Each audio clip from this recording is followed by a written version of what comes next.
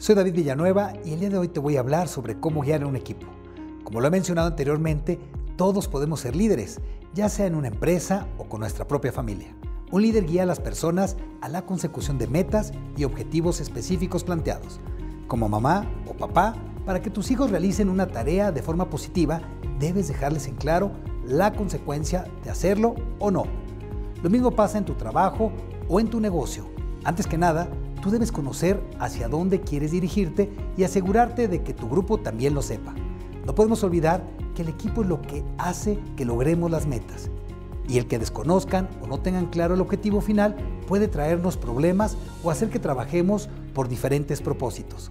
Como lo he mencionado anteriormente, la comunicación es muy importante. El saber expresar los objetivos y guiar al equipo para el correcto cumplimiento garantizará resultados satisfactorios. Por ello te comparto 10 puntos básicos para que sea más fácil guiar a nuestro equipo. Ten claro hacia dónde quieres llegar. Escucha las propuestas de tu equipo sin dejar que se desvíen de la meta. Mantente abierto a seguir nuevos caminos. Habla claro y asegúrate de no dejar dudas. Responde todas las preguntas. Busca un tiempo para hablar y conocer a tu equipo.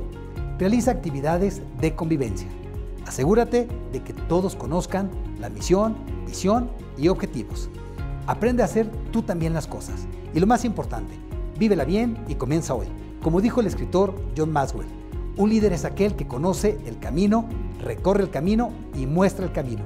Soy David Villanueva y déjame todos los lunes estar contigo.